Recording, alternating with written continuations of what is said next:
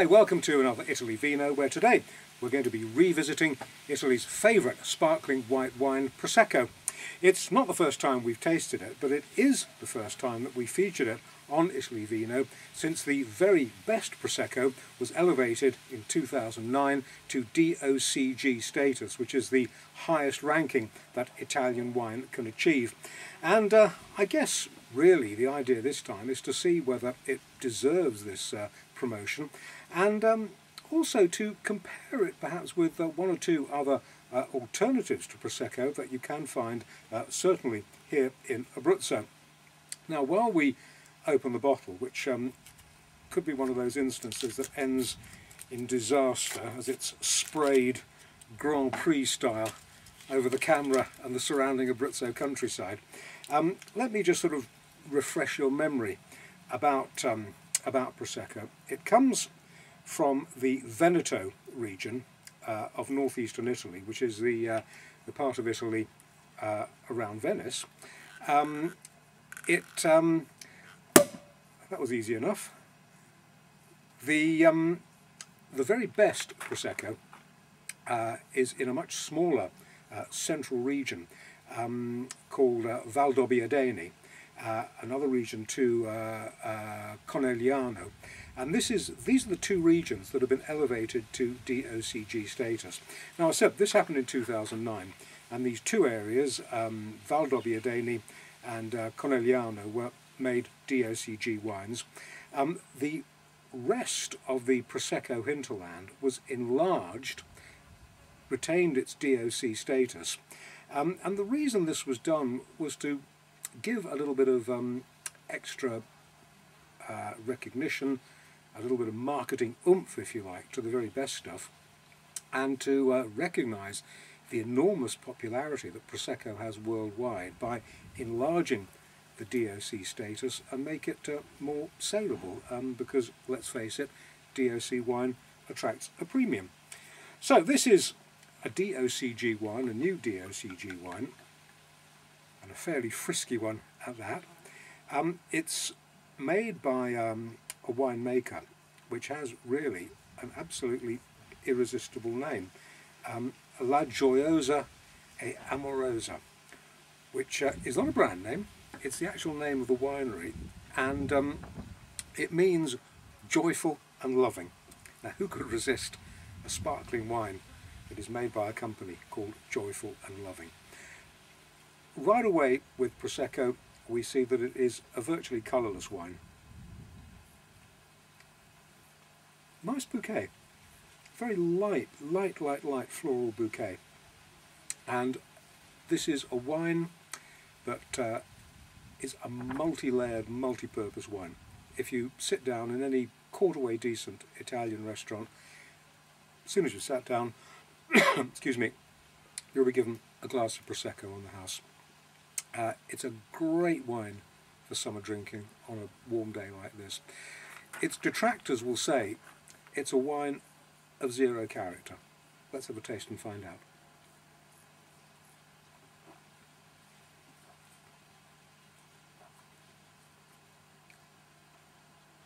right away, I will say this is absolutely terrific.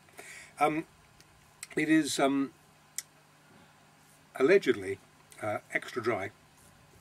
Uh, not that you would expect a sort of bone dry prosecco. The the, the prosecco grape, um, from which surprise surprise prosecco is made, uh, is not is not a grape that produces absolutely bone, bone dry wines. There, there is the tiniest, tiniest, tiniest hint of residual sweetness, but there is a lemony acidity which is perfect, perfect, perfect for a hot day like this. Eminently refreshing, no great length of finish whatsoever, but then you'd hardly expect it. Uh, but it's a wine that at only 11% uh, you can drink quite happily um, as an aperitif wine or just as a glass of something uh, fizzy and frothy when you fancy giving yourself a little bit of a treat. Um, the way Prosecco is made is uh, different to the uh, method by which champagne is made. Um, wine, all wine goes through a first fermentation in which grape juice is turned into wine. Fizzy wine goes through a second fermentation which imparts bubbles.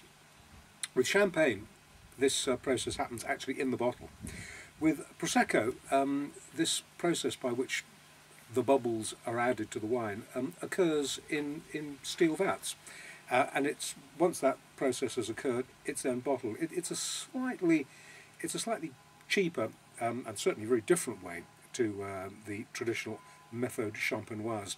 Um, this method of imparting bubbles in a tank is known as the uh, Charmat method, and, and, it's very, very prevalent in, in, in Italy. Um, Asti Spumante, um, Prosecco, all made by this um, by this steel tank um, secondary fermentation method. Um, one other point to note, um, it's made from the Prosecco grape. Uh, as part and parcel of this DOCG revamp, um, Prosecco grapes, confusingly, and I'm not quite sure why they did this, they're no longer known as Prosecco grapes. They're, um, they're now known as Glera, G-L-E-R-A.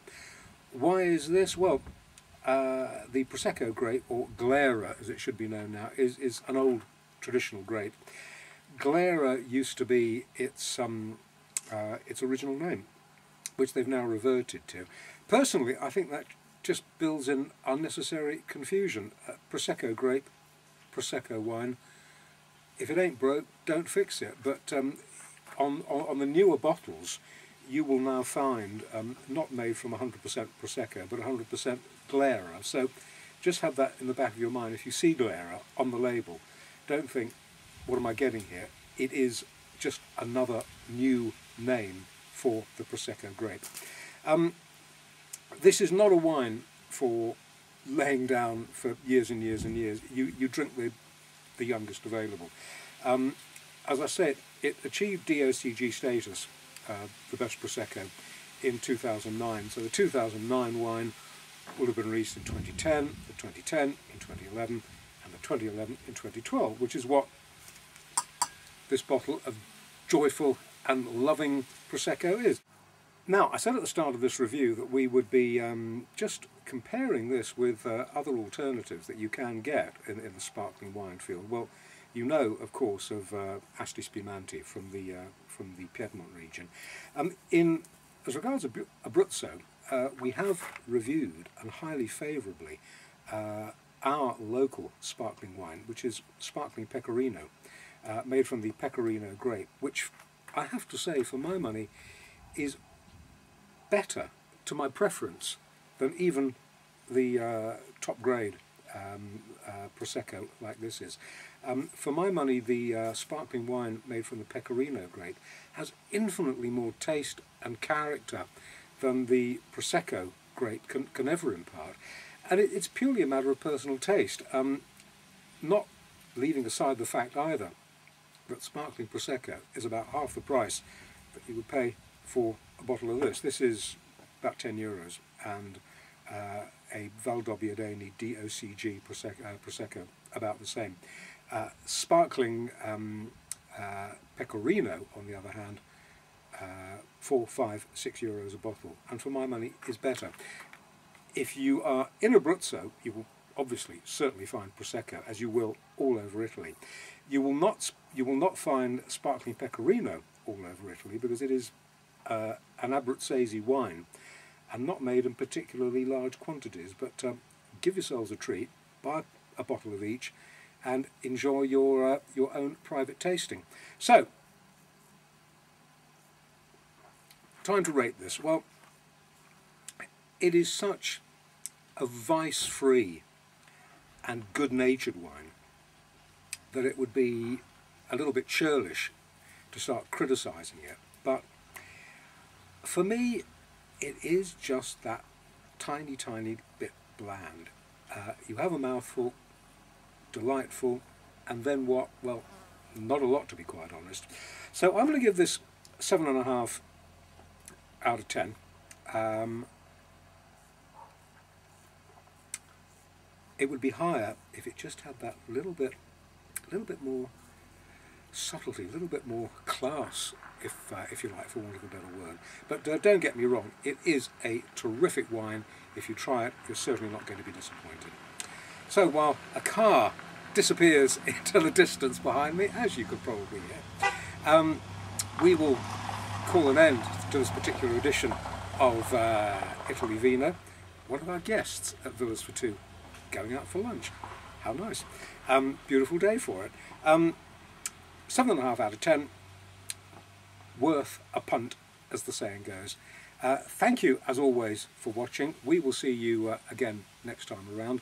Uh, for the time being, though, I raise a glass and toast you. Thanks for watching. See you again soon. Bye for now.